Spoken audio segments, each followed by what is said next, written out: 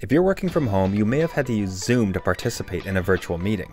And if you have, you may have noticed people having fun, interesting backgrounds behind them. Well, today I want to show you inside of Zoom how to do just that. But even better, I want to show you how to use a free application online, Canva, to create beautiful, interesting designs that you can use for these meetings. Let's get started.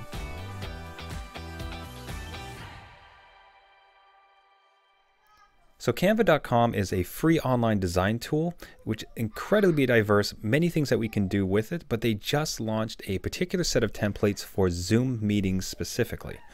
So if you hop over to canva.com and sign up for a free account, you'll be presented with the following dashboard. Uh, if you check out my other YouTube videos, you'll find all of my walkthroughs about how to use Canva. It's a really amazing design application and totally free. Uh, however, for today, we're just going to focus on Zoom. So if you come up to the top left, left and hit create a design, uh, you'll get a quick drop down and from within there we could start to search for Zoom and immediately that comes up Zoom virtual background.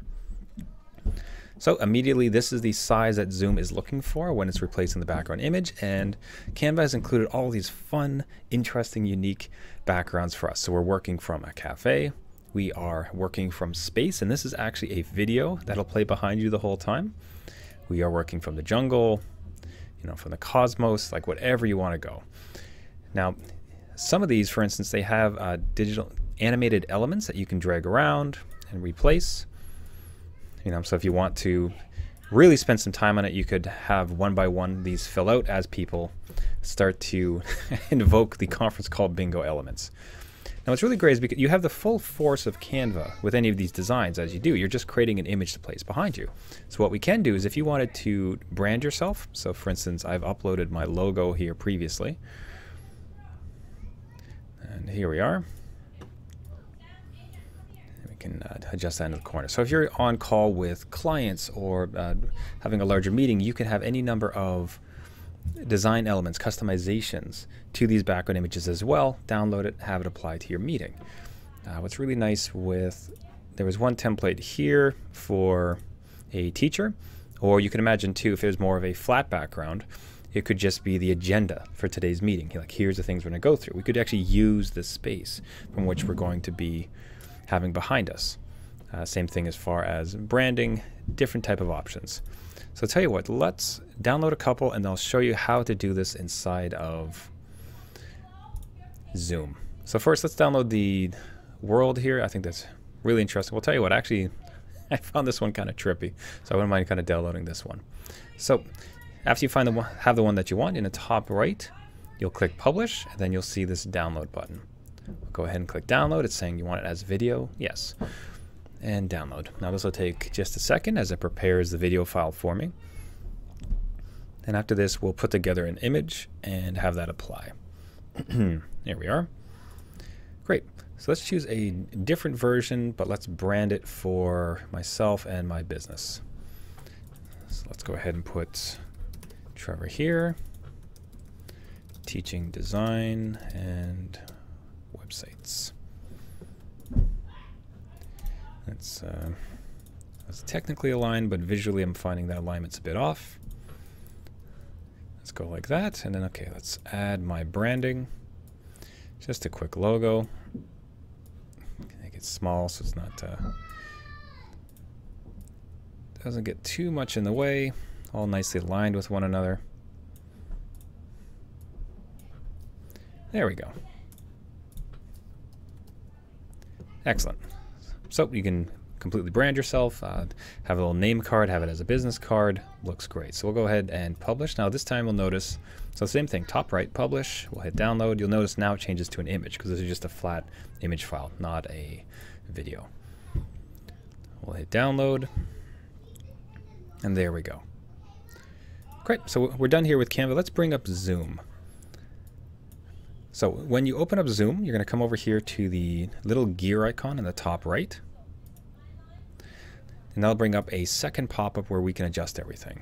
Now if we come over here on the left side to virtual background, we'll click on that.